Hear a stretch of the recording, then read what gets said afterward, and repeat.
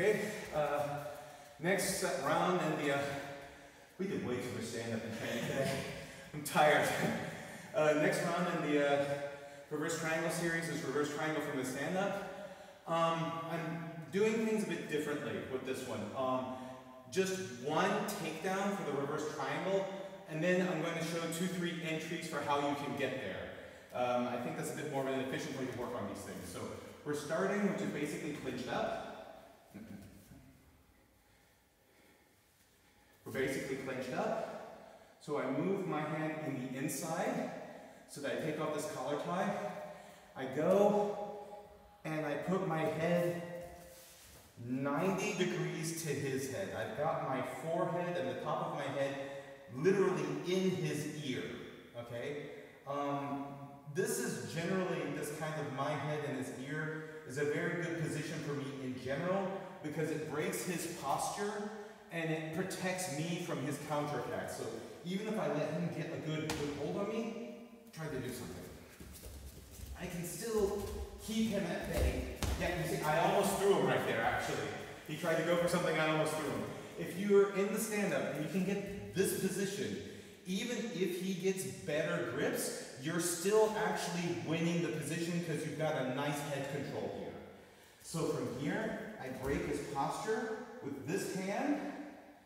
I go into this knee, actually better if you go on the outside, and I basically go this way and pull the knee out of the way on my way. So I land directly in the side control. From here, just like what we saw with the uh, reverse triangle from top position, put the arm down, step over, and now my reverse triangle. Okay, showing that throw one more time. So, again, stripping it off, moving in and putting my head in his ear. I can pull on this arm to get my pressure deeper in his ear. This hand goes on the outside, and I basically just walk forward from here. Sorry for the headbutt. And from here, just put the arm down, step over, and I can go into my reverse triangle choke.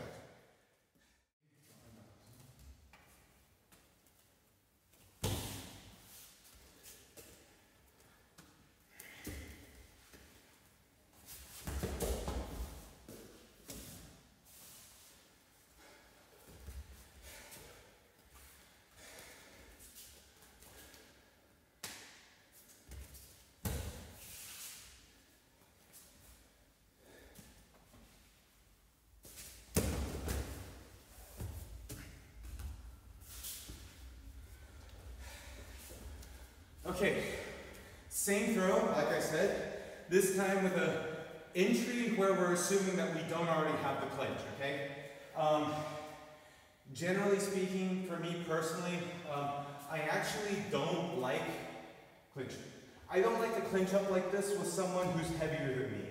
Because, um, I mean, the whole thing is we need to be able to snap down and he's heavier, he's stronger, he's going to be in an advantage on me in this position. So I like to try and get an angle as soon as possible.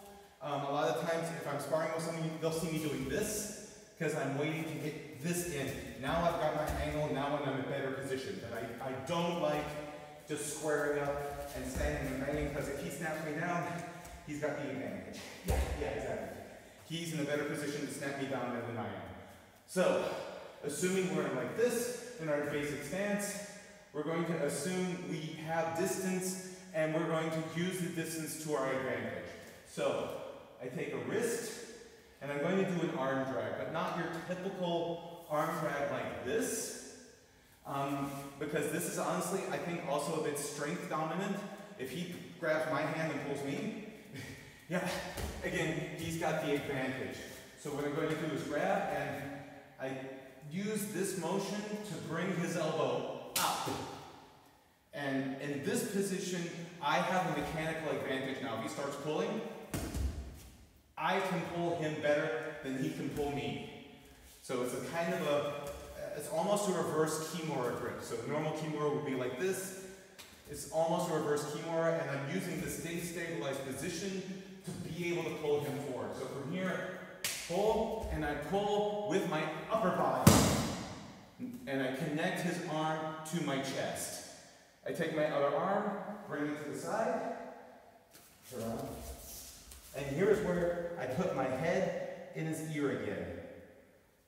I grab the far arm, break his posture, and from here, I'm going to go slow because I think you're about to hit the bank. Yeah, we were close, I was right.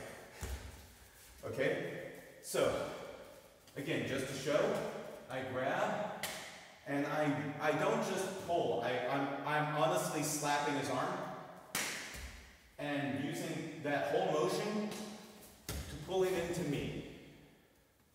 Grab a collar tie from here, head in his ear. Now I can go to my more dominant positions. Now I have my takedowns.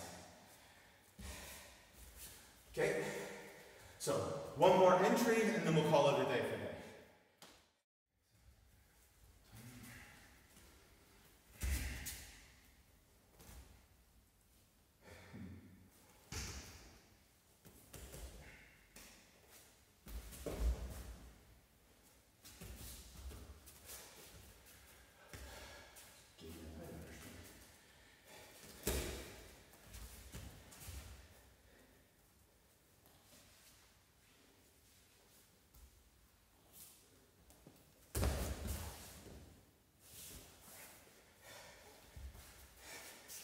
Okay, last entry for the day.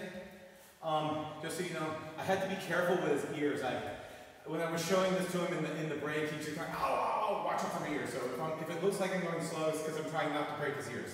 So um, this is actually something I, I find myself, like I said before, I don't like to clinch up with people this big.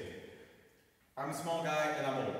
So, but if we get into the worst case scenario and he clinches up on me, then normal clinch.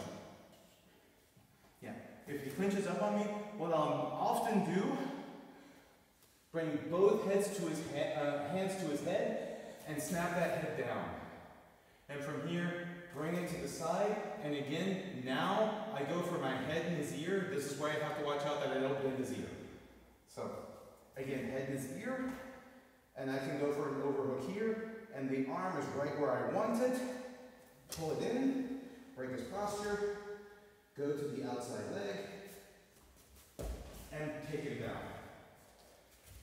And again, I land right on the side control and can immediately go into my reverse triangle. So, one more time, we clinch up, I take both hands on his head, snap it down, put him to the side, collar tie, head in his ear. From here, I can get an underhook so he doesn't get away from me. Pull that arm in tight. Start going towards the leg, block the knee, and bam.